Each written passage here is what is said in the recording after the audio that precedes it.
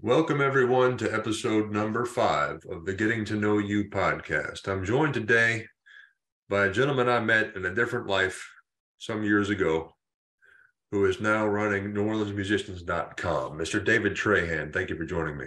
What's up, man? How you doing? Doing just fine, man. Let's get this going. Tell me, uh, where, where were you born? I was born in River Ridge.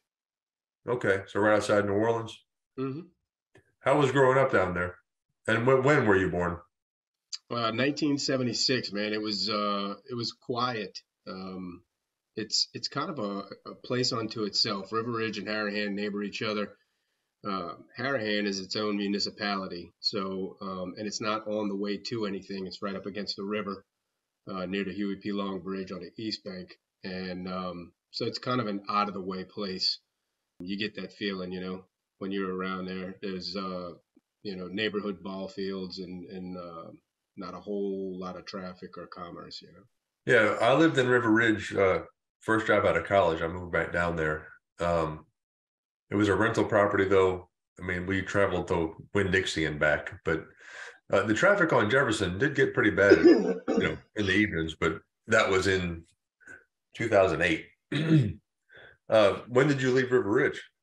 Um, well, so my parents got divorced when I was about nine, and um, so where does that put us? Uh, 85 or excuse me, yeah, 85. Yeah, about 85. So, um, so when my parents got divorced, uh, I stayed in the same house for a little while, and then um, my mom eventually met somebody, remarried, and we moved, and we moved to uh, Kenner for a little while.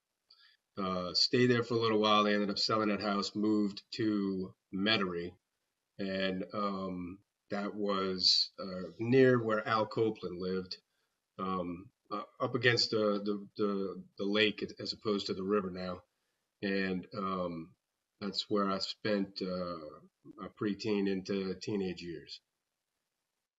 Okay, was uh were you drawn to anything in school growing up? Uh, good question. I mean, at that point in my life, um, I excelled scholastically, and um, I, I wouldn't say necessarily that I was drawn to anything in school in particular, but uh, I, found it easy to get through, easy to come by. I was in gifted and talented classes, and um, you know, um, I, I, can't really say at that point in my life I had a goal or anything. You know what I'm saying? I was, I was kind of young, but um, yeah, that was it. I mean, I, I guess average kid, above average student, but just you know, average kid playing in the in the streets until the lights came on, like we all did. You know. What about music? Where did your passion for that begin? My mother played piano um, all my life, and I began. I think I took like a summer or two piano lessons, and I really liked it. Um, I didn't keep going to uh, music theory classes, but uh, it kind of stuck with me. And there was a piano in the house, so I always played that. Um, my grandmother had a piano in her house, so when I was over there, I would play there too. And um, it was just uh, something that I always did for no reason at all. And it was it was the kind of thing that uh, I felt different after I sat down and played for a while. You know, like super calm, real peaceful. You know. Yeah, I do. I've got a piano in the other room, as a matter of fact. Awesome. Um, all right. So getting through high school, did you did you attend college? Were you scholastically driven uh, to that point? Uh, I'd say high school. I started screwing off a bunch. Um, caught a big attitude, like I guess around puberty, you know, and um, then uh, on to high school. Uh, my my mother didn't want me to attend uh, public school, um, which at that time would have been Bonnabel, because at that time we were living in Kenner. And um, she was not at all happy with Bonnabel, so she decided that she wanted to put me in private school. And uh, private schools are like a, it's like a microcosm of reality. You know, it's it's it's a tiny little patch. Which one did you attend, if I may? Yeah, uh, I went to Ridgewood. Okay. Ridgewood Preparatory School. Okay. And um, so you know you you you you have to be accepted. You go for an interview, and you know oh, what books have you read recently, and all of this other stuff. You know, so um, and and by that time, like I, I'd already had my brushes with not the law quite yet, but I was on my path. You know, and um,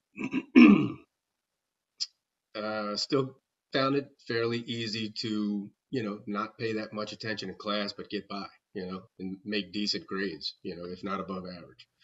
So um, that's what I continue to do. But uh, like I said, with with private schools, it's it's it's not it's not reality like when you step out your door. It's uh, unto itself, and um, there's still like you know little cliques in private schools, just like in high schools, public high schools, and, and things of that nature. It's just on a smaller scale. So it, it, the lines are more, I guess, defined and uh, you're either in or you're out, you know.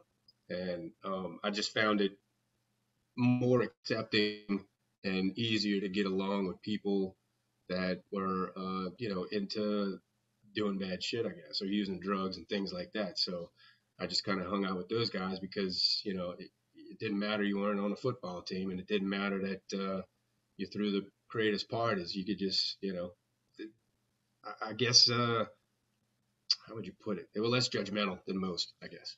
Yeah, just hanging out. Yeah. yeah. yeah. So I, I, guess that's all I could say about uh, the whole private school thing.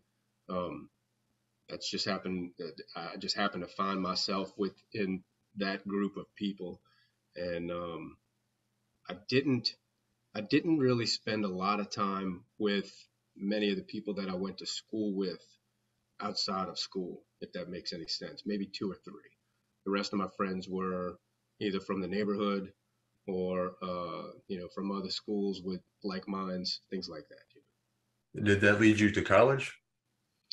Um, yeah, believe it or not, I, I did go to college, um, and I was in there for just under two years, and I had to work at the same time, keep a job, and um, I don't know, man. It, it, it started to piss me off, honestly. I, uh, I was interested in biological sciences and um, didn't really care much for mathematics or anything in that field.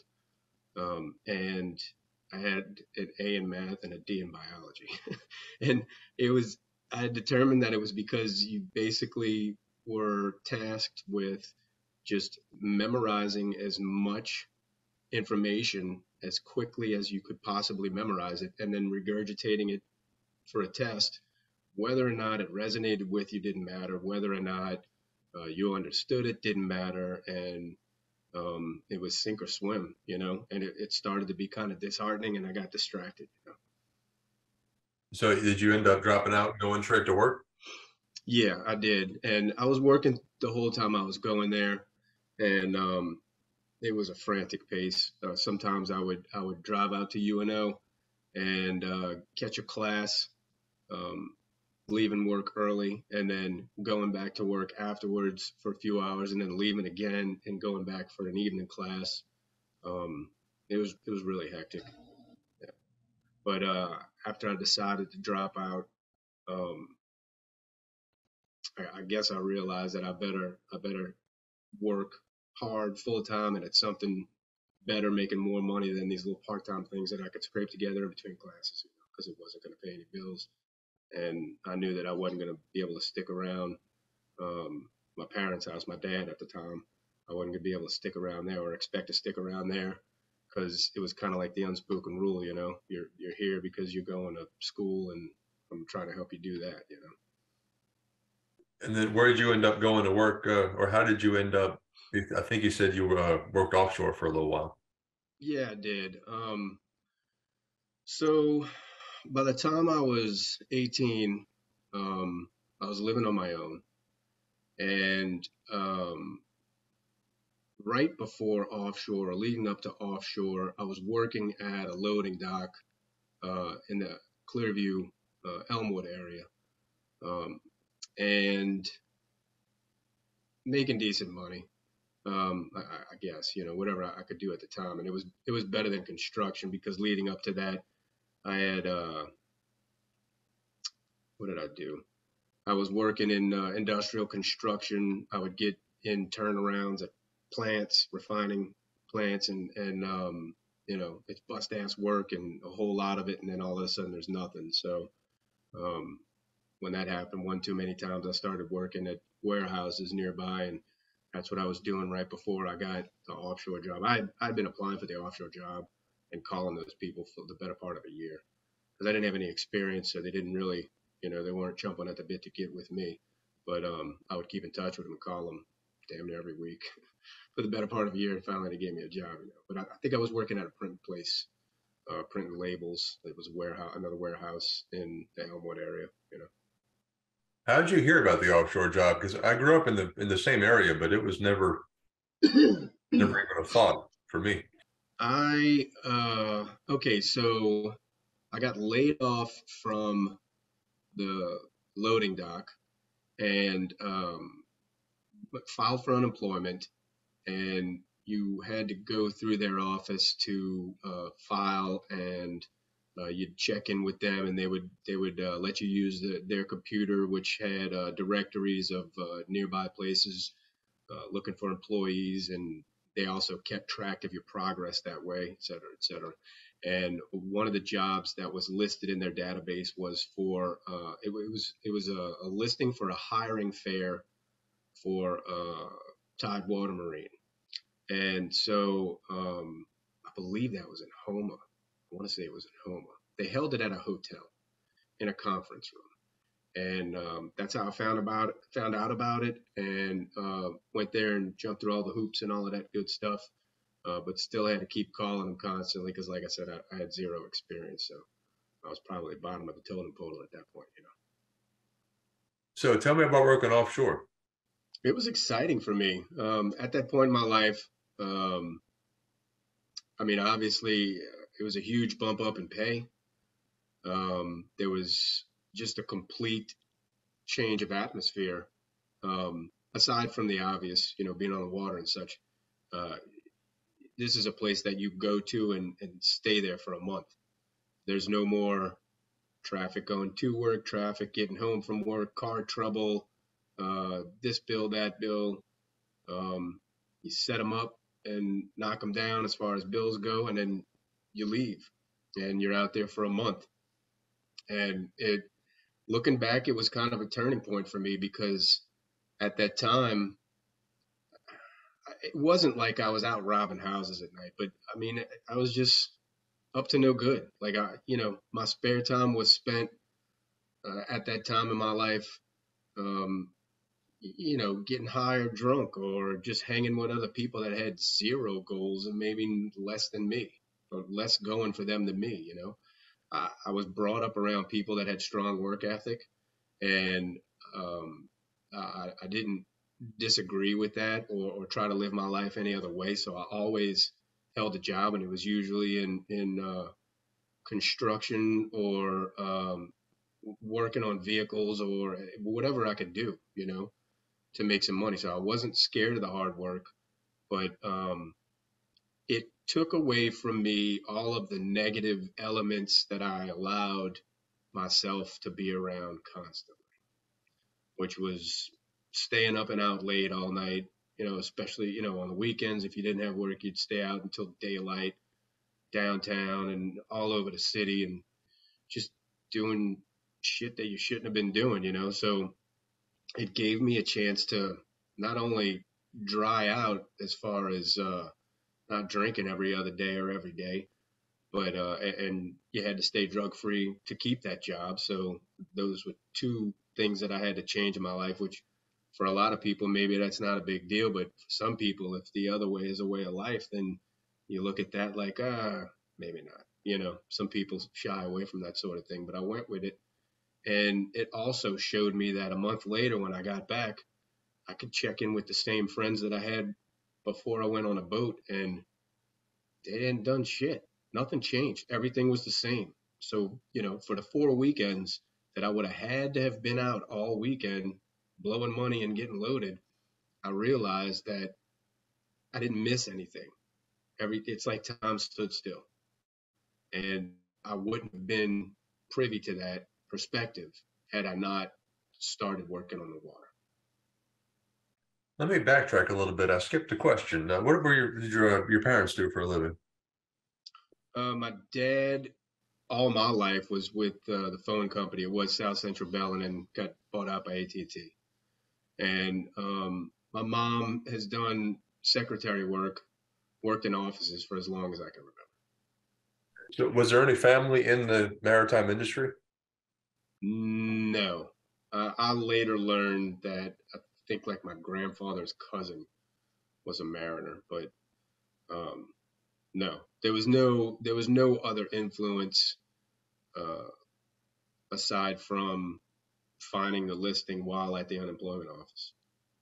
I had heard the kind of I had heard the kind of money that they made, and you know at that time uh, working at a loading dock, you know operating a forklift and picking orders and whatever the hell you were doing was you know probably wasn't seven eight bucks maybe nine bucks an hour I can't remember but I mean it was it was barely enough to to pay the bills. I remember one time on the way to work, um, I didn't know what it was when it happened, but uh, the uh, the AC compressor froze on my truck, but I didn't know that's what it was.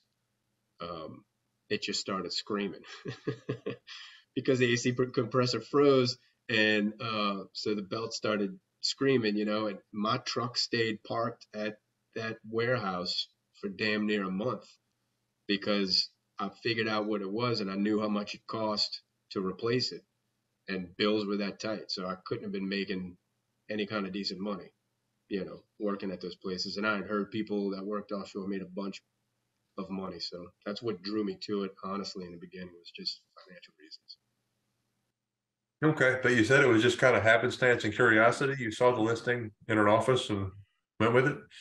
Um, at that time I was I was my attitude is whatever it is, just fucking murder it. Whatever it is. If, if that's what you want, then murder shit until you get it. If that's what the problem is, kill it. Like just go at it until one of you dies.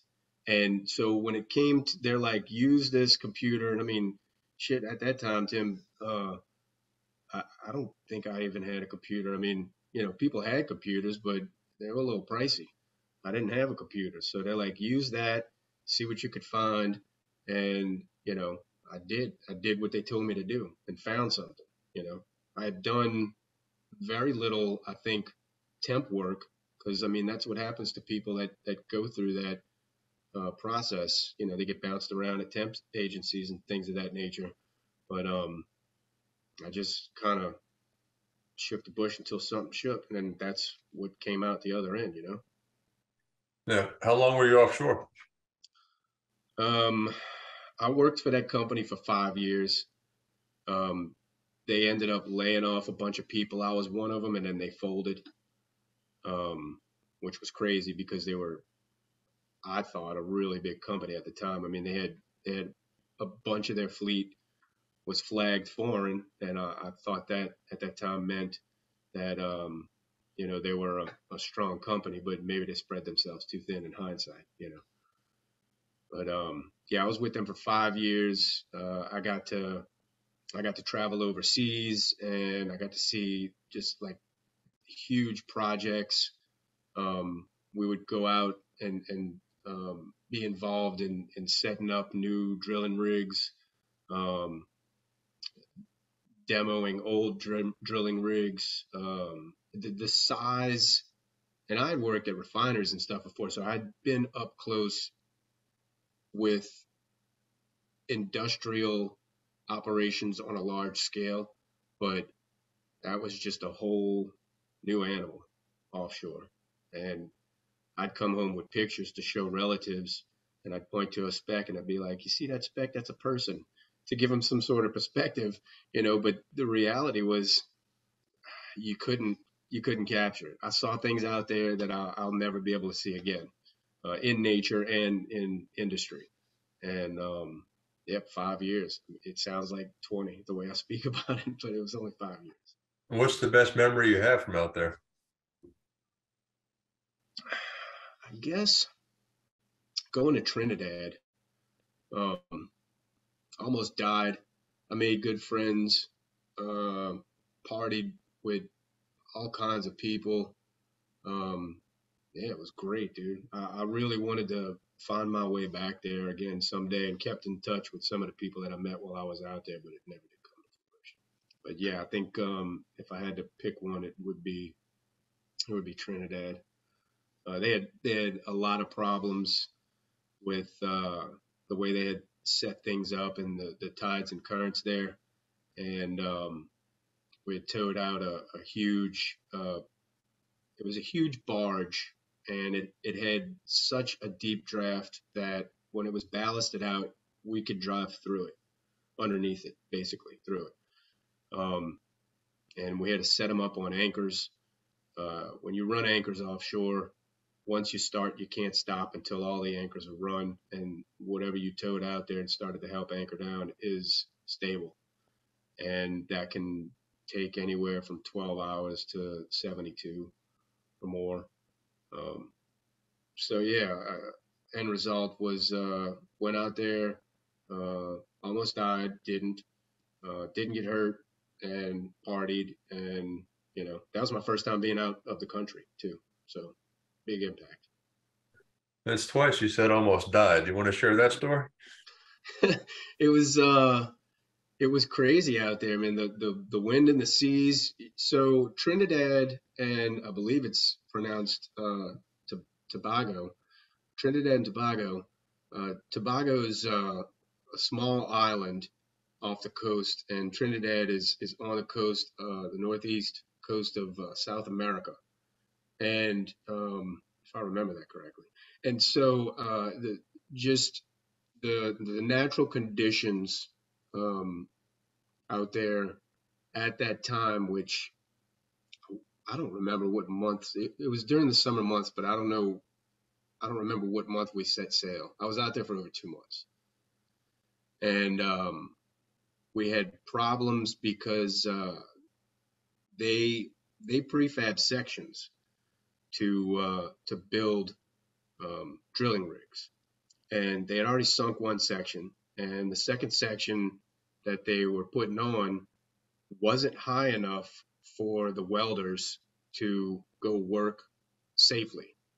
Um, they were on the windward side of this huge platform that we had set up out there and run anchors for. And running anchors is an animal in itself. It's like uh, what's that? What's that show where they they catch crabs, snow crabs, or something like that, and the guys yeah. are bouncing around. It's Deadliest catch. Yeah, the deadliest yeah. catch. It's it's like watching that back deck on a large scale. Um, and uh, we just we got caught up in the seas, um, slammed against uh, a barge, made it out of that, and then uh, later on, uh, while we were running anchors, because um, we had to reposition that thing after they realized that the welders were getting hit with the seas and couldn't work.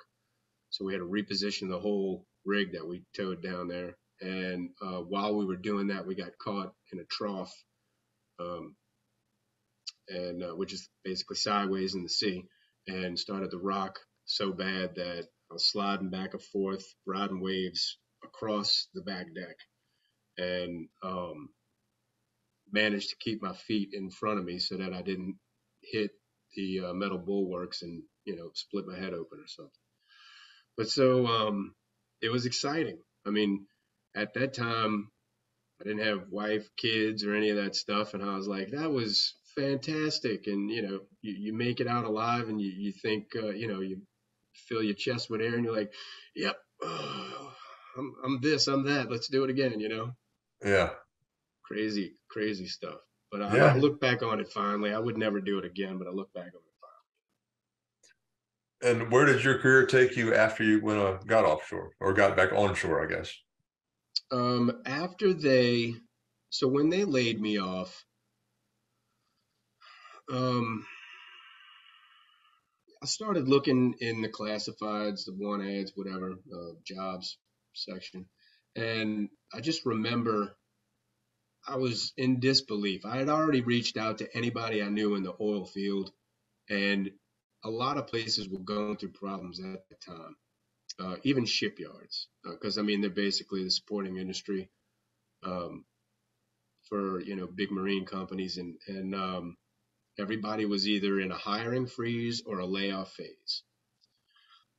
Excuse me, and um, I'm looking in the classifieds for jobs, and everything says experience necessary. There was even a job I'll never forget this man. It was there was a job for a fry cook at a fast food place. And I'll be damned if that thing didn't say experience necessary. And I'm thinking to myself, what does it take, man? You know? yeah. When you hear a ding, pull up the basket, come on, man. And so I realized that the industry chose me at that point. And if I expected to move up from where I was, not necessarily in, in job status or rank or any of those things, but to at least maintain the same amount of income and I guess stature at the workplace because when you start a new job, you start from the bottom and you start learn, you know, they might tell you to sweep the floor for three months just to see if you'll show up, no matter what it is. And you got to eat. Right. Right. But uh, I realized that basically any experience that I had in the past five years was all marine related. And before that, it was just whatever I could find, which was loading dock or construction or any of that stuff. So the the best leg I had to stand on was in the marine industry. So I just went after that. And uh, did you? How did your career end up leading to towboats, where I met you up there near Baton Rouge? At the time, like I said, at the time that I got laid off from Tidewater, um, there was a drilling moratorium in the Gulf. There were no new rigs or exploration or um, maintenance on rigs, so to speak. Uh, nothing new was was coming out of that, and just in that sentence, um, you're talking about a host of different uh, services and companies that provide those services, all marine companies um, there wasn't a whole lot of action. And like I told you right before that happened, the company I was working for, they had flagged a lot of vessels foreign. So those vessels were working in foreign ports. Um, if you're on the deck and the vessel goes to a foreign port, it has to hire a crew indigenous to that region. So you're you can leave the country with a vessel, go do a job and come back, but you're not going to be sailing to and from a port local to a foreign region, um, unless that vessel is dedicated, flagged to that nation, at which point they have to hire indigenous crew. So um, offshore was kind of out at that point for me as an option. Um, so I, I, was applying to anything boat related, and um, an inland tow company called me, and although it was an incredible cut in pay, I don't remember what it was exactly. It was like a hundred to hundred and twenty dollars a day less to go work inland for me as a deck crew at that time. But I had been searching for a while.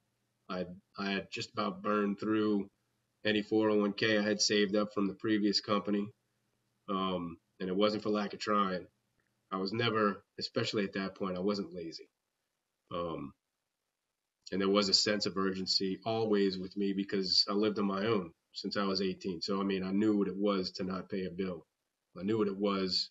I knew what's going to happen if you know the lights ain't going to be on tomorrow. you know, so I just I took it because it was all I could find at the time. And um, like I said, starting in a it's basically a new industry, even though it's still marine related and you're working on a, a deck it's just 100% different from working offshore. Working inland is 100% different from working offshore. So um, it was like starting over again. Big pay cut, um, learning uh, just a, a, different anatomy. A different ship has a different anatomy, and um, you know, different vessels and different crews working in different areas. They're all going to have practices that are unlike you've seen before. So it was like starting over again, you know. Any interesting uh, stories or tidbits of memory from decking all the way up to the wheelhouse? Not really interesting. I, I never did mind. I never did mind um, always working on a project. Um, the end result, the bottom line for me is offshore and inland. You get to work with equipment that you're probably never going to be able to afford in your lifetime. The, the just just the the magnitude or the size of, of the machinery that they use to accomplish their goals is is far more expensive and larger than you will ever be able to attain or really necessarily ever need. So I always felt like learning not only just being able to tinker around with stuff like that, but learning from other people that knew a few things about it was an incredible opportunity.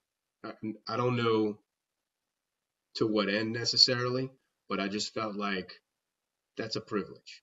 You know what I mean?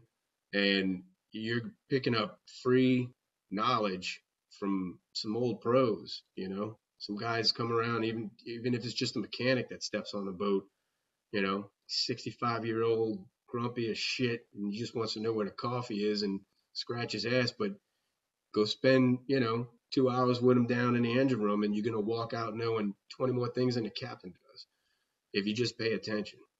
And then there's some people that just go out there and float around and hope to get a check, you know. But I, I just feel like there's a lot of opportunity out there once you've done it for a while because you're learning the whole boat, every system, the air system, the oil system, the, the cooling system, the water. You're learning um, it's got regular features like a house would, like AC units and ductwork and walk, washers and dryers and appliances. Like you're just learning how to deal with septic systems. Like you're just learning how things work and how to service them and what typical uh, breakages they experience. And just it's just a wealth of knowledge, really, if you pay attention. You know, um, no specific stories, like no crazy exciting stuff, really. Um, that was kind of saved for the offshore experiences, I guess things kind of got wild out there. But uh, but I, I don't I don't feel like uh, as far as the deck goes, nothing crazy, but just a, lot of hard work and lots to learn. And um, I don't know. I wouldn't I wouldn't give it up for the world. You know what I mean? I don't think that um, me as a captain, anybody deserves to be a captain unless they've sweated it out on the deck for years. You know. But um, I guess I've stuck with it all this time because uh, I was never, I never shied away from hard work, and I, I like, I like uh, the grit. You know what I mean? You get it done by any means necessary, or shut the fuck up. You know. Roger. You don't have to, you know, you don't have to tell me where you've been and what you did because it's going to show in the calluses in your hands or what you do next or like all those things. There's no, you can't, bull, there's a lot of bullshitters out there. I won't say that, but you can't bullshit me. And it's not because I got a crystal ball. It's because I've been out there, you know? Right. How long have you been out there? Uh, right, man. You, you asked me that earlier, so I had to tally it up. Inland, inland, I think will be, uh, I think March makes 13 years. And then offshore, I worked for Tidewater for about five years. So it'll be 18 years uh, in the next couple months. How long were you on deck before you started moving up? And did you make a stop with the engineers? No. Um, I had two choices, man. I sized that up when I was working offshore.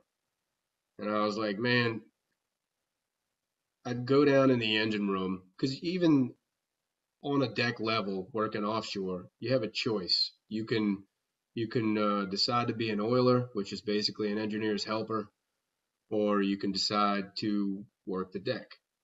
Um, it's two different departments. The deck and the wheelhouse uh, commingle, and the engineering is kind of unto itself. And I'd go down in the engine room occasionally, and it was just hot and shitty down there, man. It was hot and shitty, and I looked around and I'm like, y'all are under the water right now. y'all are gonna be the first to go and the last to know.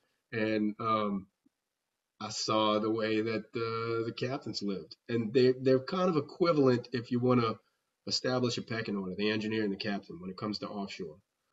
Um, but I mean, if you look at the conditions that you work in in the wheelhouse as opposed to the engine room, you gotta really love engines to want to dive down there. You know what I mean?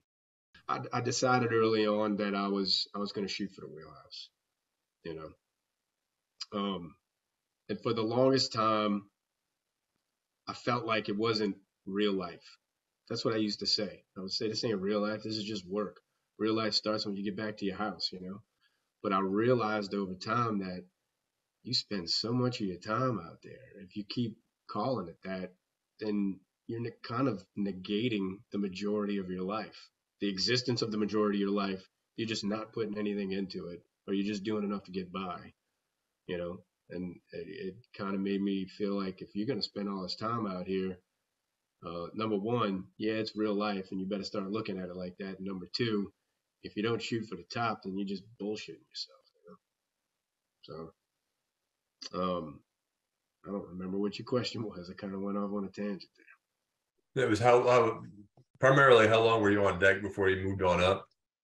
Oh, right. Offshore, I spent that entire time on deck. I had started talking to people in the office. Um, this same guy, I kept talking to him in the office about uh, starting my steersman course. Uh, I had acquired some of the books to study and workbooks and things of that nature, but I, I worked on deck the whole time that I was offshore. So that's five years. And then when I started inland, as I said, it was kind of like starting over. So I ended up decking inland for an additional between five and six years. So all told, roughly 10 years I spent on deck offshore in inland. Was there a steersman program when you moved up? Uh, when I finally moved up, there was a steersman program. Um, when I was working inland, and uh, it was, was kind of ass backwards. It, it seemed like uh, good old boy mentality because I would keep in touch with some of the people that came up alongside of me as far as when we got hired on and what our job status was, positions. And, you know, they'd get off the phone with the office and then call me or vice versa and would be getting told the same thing, you know, like, oh, you're, you're number two or you're number three in line. Like, damn, he told me I was number three. And, you know, the the leadership of the steersman program changed hands um, quite a few times just during the the uh, the window where I was, I guess you could say, eligible, and um, so it became hard to establish any kind of working relationship, so to speak, with anybody that was heading up the program because before long, give it two or three years, they'd put somebody new in that person's place and he would call you and he'd say, you know, who are you? I had somebody call me after I'd, you know, supposedly been in the program and all this other stuff. Head of that program calls me and says, who are you? Okay, well, uh, I wrote your name down. I'll, I'll get back to you. It's like starting over again. right. So were you in the steersman program or you did it sort of more traditionally? Um, as far as as far as my company at that time said, I was in the steersman program. Um, and I, I guess they kind of groom you for that mentality, so to speak, because when you get out of all of the schooling and get all of the certificates and things, you're told that you're on standby for this program. And then, you know, two years goes by, and then they tell you, all right, you're officially in the program. You're still doing the same thing, decking and maybe steering when you can if the captain says it's all right, but you're in this program. It's like this fictitious gentleman's order. and um, you end up getting it, to, I guess, to answer your question, I ended up getting it traditionally, I guess if you call it that, um, forging out some sort of relationship, aka working your ass off for a captain and getting him to decide you're all right and I'll I'll steer you. You know. All right. Well, switching topics to uh, the focus of this conversation. At some point along the way, uh, you started a project that has now become New Orleans Musicians.com. Yeah. Tell me where that started. Man, it was a uh, it was a long time ago. Um, a friend of mine told me that he found someone that was selling a website, but that he lost touch with him and he really he was just kind of venting to me, I guess, or I don't even know if he was posing the question. But long story short, he he lost touch with the guy that was selling it. He described him to me. I realized that I was good friends with the guy. I just didn't know that about him, and um, reconnected them um, on the agreement that I would be included. Um, so apparently, the site was originally NewOrleansBands.net, um, and it was built by the person who founded it, Daniel Carone, and he made it. It was it was kind of like a, a chat forum, and it networked bands, and it was it was uh, I guess simple in nature or direct to the point, but simple in nature. But um, it became fairly large. I mean, he he saw to it that over 300 bands were onboarded, and at one time it was used as a messaging forum for people that were in bands but displaced by Hurricane Katrina because uh, anything that was down here was gone, and uh, his hosting happened to be out of town. So it stayed online, but uh, that's how it got started. Um, and through a series of negotiations, I ended up owning the website outright, and um, I took it from there, redesigned it, and took it from there. And how many years now have you run it yourself? Oh man, well, so okay, let's back it up one second. I, after bringing those two guys together and talking to the guy that founded it and started it, Daniel, um, I thought that everything was in order, but with me working offshore, um, and I guess him a little bit of trepidation on his point on his part, um, lost touch we couldn't get in touch with him again, and we thought he got cold feet. But I loved the idea so much that I started drawing the whole website because I'd go out for a month at a time. So I drew the whole website, every screen you would see in a notebook. And if the screen had five links, I would label them A1, 2, 3, 4, and 5, and you'd go look it up in the back, and I would have a page for that. Like I just redesigned in my mind what I thought it could be. Um, I eventually got back in touch with him. Purchase was made, et cetera, et cetera.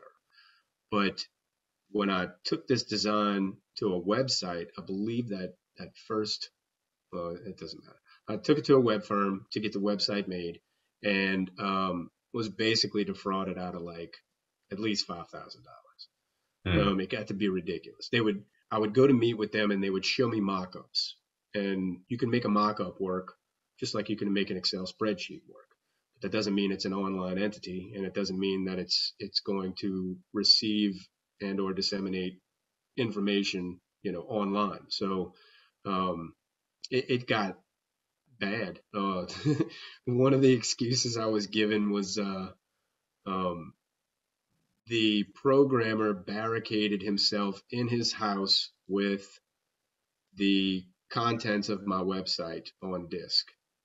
I wonder if I still have that email. it just it got bad, and I don't know if it was because I was um, young and they figured they could get over on me, or if it was because, which I didn't know at the time, they didn't have any in-house programmers. They subbed out all their work, so they were just a go-between. And it was a guy that liked to go schmooze and rub elbows with upper echelon. You know, they they had big clients like Shell, you know, but um, I think he was more of a a mixer than uh, than a programmer or, or, any technical aspect. So that went to shit. Um, put it down for a while because I'm financing this all myself. Um, you know, I'm living in a one bedroom apartment, working on the deck. I'm, I'm you know, I got a, a, few bucks, but not a whole lot. and um, put it down for a little while, two, three years, and then uh, tried again with another firm from out of town uh, in Kentucky, I believe it was, and I flew out there to meet them, and uh, just went to shit again. They just kind of put me on the back burner, and I, I don't know, again, if it was my age or um, just novice uh, in the field, or uh, if I expected too much, or I, I don't know. Uh, I, I, felt like I held up my end because I came up front with the expectations and I knew what it would cost. So I made sure I had the money ready, you know. But uh, again, it got put on the back burner. And after that, I shelved it for years. I was pissed. I was like, this is never going to happen. I'm, I'm out like, I don't even know, eight, ten thousand dollars, whatever the tally was, you know. So it's been a long time coming, is what I'm trying to get at and um, I could tell you when it all started roughly, but it's on and off throughout the years up until this point, basically. You know. And what triggered your uh, your commitment to it more recently, and how when when was that when you dove back in? Uh, the beginning of the beginning of 21 2021, um, I had up until that point maintained ownership of several domains. Um, at that point, I changed the name to um, New Orleans Musicians.net only because I couldn't score .com, but I changed it to New Orleans Musicians because it was rede- redesigned in my mind um, and partially on on online, and uh, it just kind of I wanted it to be something different, um, more more encompassing, I suppose. But anyway, I had maintained uh, the domains and kept adding to it, and I think to date I have 23 domains that lead all lead to it, and they're they're all um, germane uh, names like uh, you got the New Orleans Bands.net, the original New Orleans Bands.com, New Orleans Musicians.net.com. If I could get a .org, I would, you know, throw all of this stuff in together. So I kept all of those things. And my wife is like, you got to shit or get off the pot. Like you're keeping this alive in your mind only, you know?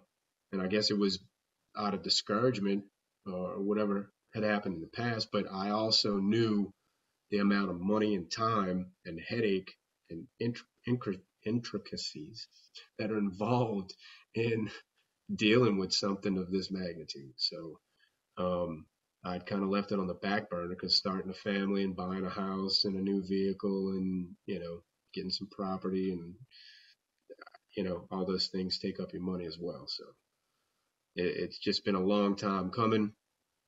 After she started mentioning that. I believe uh, middle of 21, I uh, started looking for a programmer. Late in 21, hired a programmer. Then all through uh, the rest of, uh, let's say, the last quarter of 21 and all of 22, um, worked with a programmer to get it to what it is now. And what it is now, I think I definitely shouldn't be in charge of any more features because I have more than my hands full. Um, but I really feel like it it serves a, a big purpose. Um, marketing and and things of that nature, those are super expensive black holes, man. Uh, you could you could throw fifty dollars in and then cross your fingers and hope you get fifty dollars worth of whatever um, traffic, whatever it is you were shooting for. But it's never guaranteed. Seldom happens. You work on percentages, and um, it's it's very expensive. So I just I try a lot of grassroots marketing, you know. So I, I realize it's going to be slow going, but um, I, I, think uh, by the hardest, I've built something that encompasses a lot of Louisiana's music scene because I've, I've opened it to anybody, any resident of the state. I think New Orleans is the hub uh, for Louisiana music. Um, but uh, I want to welcome everyone in the state. How uh, how big is the website now, and do you generate money from it? Um, like big in terms of what metric? I how many users, how many registered users, how many bands, how many uh, yeah. what is it just a, a, community forum still for bands or what else is it? Okay, so you everybody gets a, a profile and I try to treat bands like businesses. I want them to set up their profile and lay out a professional bio um, any music or videos they upload will be on that bio, their contact information, uh, if they're under uh, management, label, uh, all those stats that are relative to music business. And I want it to be for the promotion of music business. I don't want it to be social like a Facebook or anything like that. So there's no accommodations for that. It's not really a forum per se. Um, so all bands that are from Louisiana get that. Um, there's also a directory for vendors, which are supporting services for bands, which is uh, A&Rs, bus charters, sound and light companies, venues, um, anybody that provides lodging, hotels, B&Bs. Um, there's a directory for um, bands to use to be able to kind of do for themselves. I want bands to see it as a utility for business. And um, in the meantime, there's a few other things that other people like fans might find interesting. There's a page with streaming music by genre. So if you want to hear just local rock or just local jazz or just local reggae, then you can go there and, and you know stream that. Um, same with the videos. You can go check out videos, and it'll be everything from uh, me interviewing musicians or recording studio owners um, to music videos to uh, coming soon. I got a guy's putting up a, instructional videos on his uh, instrument applications, you know, things of that nature. Anything that I can be involved with that shows uh, more of the same and a different side of music in Louisiana, the personal side, etc. How many profiles are you hosting right now? I think last I counted, there were 67. It's mostly bands. It's a few recording studios. Um, there's a guy that's an opera house owner. There's a travel agent. There's there's a bunch of different characters on there, and uh, the traffic. I monitor all the stats to see how it's doing, and it's kind of run the gamut. Um, some months it's up over 800 users. Um, other months I've seen it as low as 500. It'll vary. And um, we launched at the beginning of 2022, kind of simultaneously working out any bugs that we could find while we watched it actually get used. And uh, I've spent most of 22 uh, refining it and adding to it. What's uh any plans to grow it further, or what's the big dream? What's the the realization of the of the project for you? Right. Well, I'm just trying to keep it in steps, I suppose, one step at a time. Right now, I, I just want to I want to onboard as many bands as possible. Um, I'd like to see between three and four hundred bands on there, um, and I, I, I kind of chose that number arbitrarily, but I was sitting down with uh, uh, a marketer earlier this year, and after reviewing my site, he said, "I can't, I can't take your money because I can't take your site and market it to." I wanted him to fill the vendor directory. I was like, "Look, I want, I'm going to take care of the bands. I want you to take care of onboarding venues and you know, A&Rs, things of that nature, market to these guys. And he's like, I can't take your money because you don't have the bands on there yet. I'm like, well, you know, we just we just opened for business, so to speak. I'm working on that. He's like, well, you know, if you wanted to look through a directory of musicians to find to book people for a show, how big of a directory do you think would be a decent sized directory that you would find a valuable resource? And I was like, I don't know, three or 400 bands. He's like, well, look, get three or 400 bands, and then you'll be giving me, even by your own standard, something to market to these vendors. I was like, man, he's right. And he didn't take my money. And I'll go see him. I was like, that's all I'm going to try to do this year. You know, I've, I've battled um, some technical difficulties, growing pains, if you will, um, with a side of the size, and uh, just kind of muscling through that and, and still trying to or, onboard people one at a time if it takes it, you know. Uh, sometimes it, it, it'll come in waves, and then other times it's crickets for a while. You never know. Uh, but uh, the ultimate goal, I suppose, is quite simply I want it to be the source for music in Louisiana. Um, if enough bands join, then all the other eyes will be on the site. Your supporting services will come because it'll be a resource for them, you know, to market their to to market their own wares, if you will. You know, I sell this service, I sell that service. That's fine. You know, this this is our this is our demographic Louisiana musicians, you know, and then things like Hollywood South become relevant. Um, and maybe through that, if I can bring everybody to the table, then I can help a ton of people. It's it's like uh, I'm building my own black book, but everybody's privy to it. You know what I mean? And if I can help a band uh, book a tour, or um, if I can line up uh, a director with a band for some music, which I've, I've helped people do these things, but this is what I want the site to do. And I want people to recognize it as a reliable brand, uh, a trustworthy brand, and and uh, a resource. You know, and it comes in numbers. If people all get together, then it becomes the one spot, and it'll always be free. You know. Well, I'm new to this podcast game, but numbers are the name of the game here too. Um, all right, so we have your wife to thank to some degree for kickstarting yeah. this project.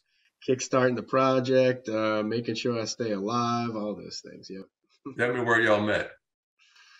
Um, funny enough, I met her while I was working offshore on a dating website, which I was convinced was a stupid concept. to me, I felt like when they first introduced dating websites, I felt like those are for people that can't go to a bar and hook up with a chick, you know? But it became interesting to me because I realized I'm gone for a month. We can get a whole lot of talking done in a month, you know?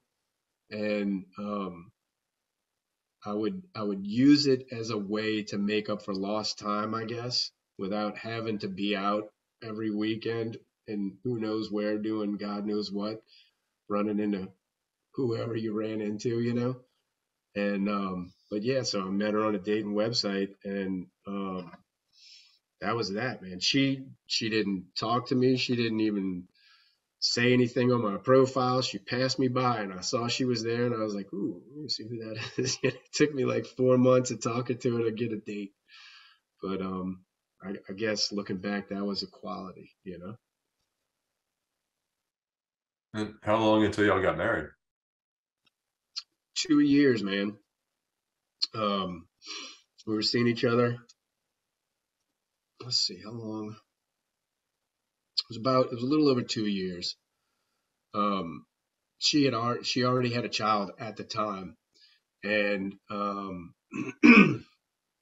I was just like play in the field being a single guy. You know what I mean? I had like hardly any responsibilities.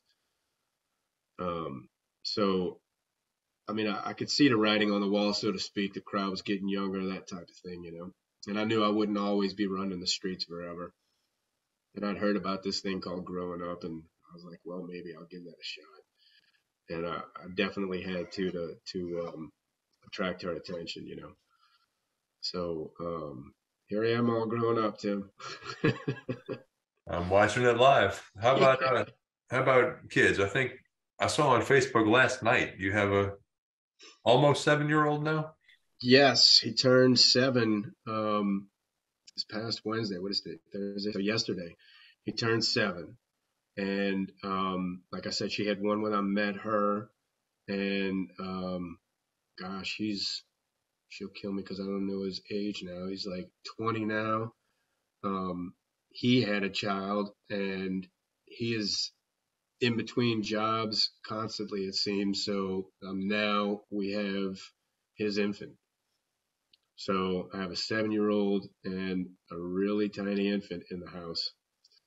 And um, takes up 120% of my time. Grandpa grown up, huh? Yeah. That I think is the most offensive part of all of this. Somebody says I'm a grandfather now, and I'm like, I don't feel grandfatherish. Yeah. terrible. well, uh, what else do you have going on in your life, man? Honestly, that's it. I, I try and carve out a little time for myself. Um, I've been building a, a 76 Chevy for it seems like forever now. Ida came through and crushed half of it. I had to start over with that, and um, I'm close. And I, have I've decided in my mind that I'll delegate some of the duties elsewhere because I just don't have the time. But I just want to make sure I build the power plant, and I'll be I'll be good with that. So I, I really um, whenever I can, I, I, try to find time to do that, and uh, I love writing music, man, and creating stuff. All this this website stuff for me means uh, it's a lot, Tim. It's uh, two podcasts a month, uh, at least four videos a month, um, two articles a month, and that's just what gets published. Um, with every person I interview, I usually interview two to three people a month so I have to fit that in the 10 days that I'm home. But each person generates an article, a podcast, and five to 10, roughly, YouTube videos, all edited and with graphics and new thumbnails, all these things. So um, I've kind of adhered to that schedule as much as I could. It's a lot. Yeah, no, it is. Uh, what instruments do you play? I play the keyboard and I play a little bass guitar, and uh, I work on um, digital audio workstation. So uh, a little, little bit of everything, I guess. Yeah. All right. Well, it sounds like you don't need to be kept busy, my friend. no. So look, man, I appreciate your time. Go get back to it, get some rest, do whatever it is you're doing, brother. Absolutely. Thanks, man. I appreciate the opportunity. Thanks a lot.